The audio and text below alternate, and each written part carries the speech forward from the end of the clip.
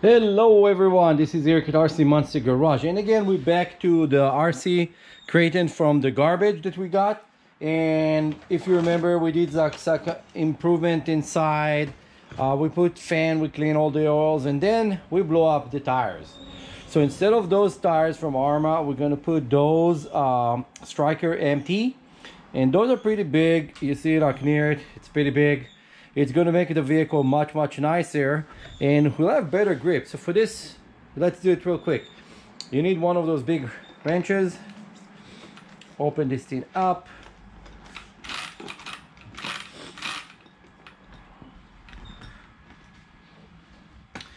Let's pop this thing out and show you the difference. So this is a little bit bigger.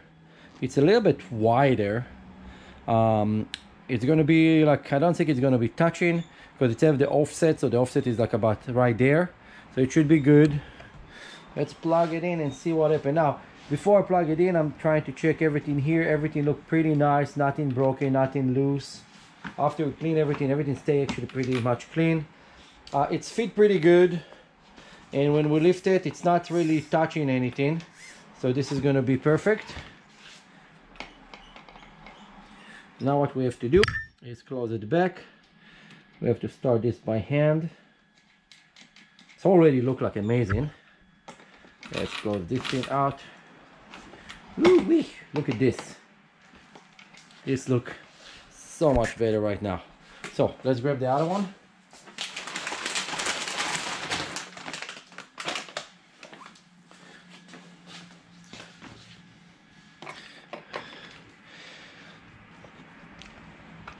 So consider that this thing someone threw it away. Um, it was in a bad condition but it still could stand all the abuse that we throw it at.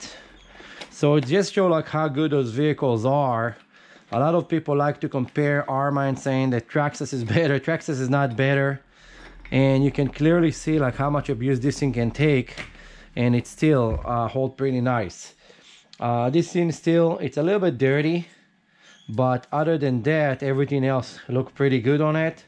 Um, the shock's a little bit faded but uh, the color of the shock don't give you any performance. I'm not really worried about that. Again the wheel fit inside without touching anything. And then watch the video all the way to the end because I have another thing to show you what we're gonna do on top of it that is actually really cool. Now when you put those there is grooves you want to put it where the grooves are so it's not going to actually uh, fly out. It's very very important thing to do. So let's close this. It's easier to turn the wheel than try to turn the ratchet actually. Okay so look at this already. It looks so much better with those big monster tires. So let me put the rest and we're gonna continue okay we got two more for the other sides. Let's put those real quick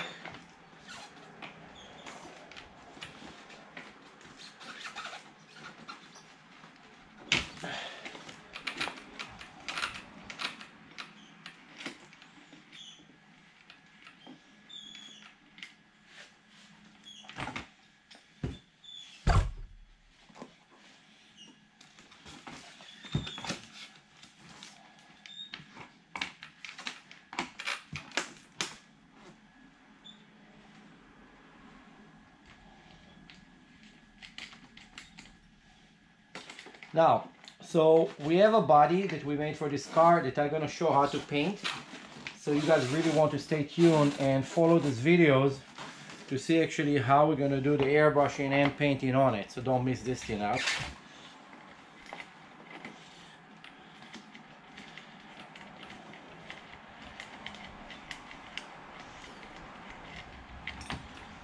Okay, last one. And again everything here look pretty good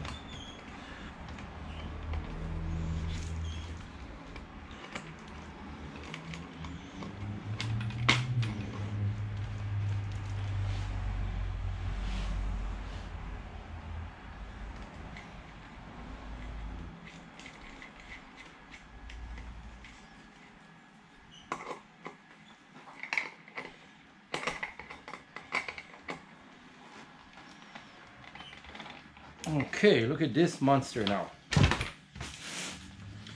It looks so much better, so much, so much better.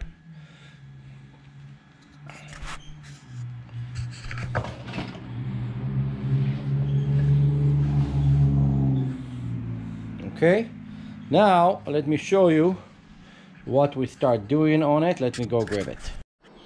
Okay, so we had the red body on the floor over here, this guy, and it's kind of beat up. So what I'm gonna do instead, I start uh, masking for paint, a new body for it. And on top of the body, I'm gonna put the sliders that I 3D printed for it. And this thing already look beautiful. Um, don't forget to like, subscribe, and share so you can see the continuation of this. How we took something like literally someone throw away make something good out of it. So you hope all of you guys learn never to throw away your cars. If something breaks, you just fix it. You don't put it in the trash. Uh, see you in my next video. This is Eric at RC Monster Garage. And I will show how to do all this paint job that we're doing here. I already set up all the masking on it. And I have a video for that. And see you in my next video. Bye.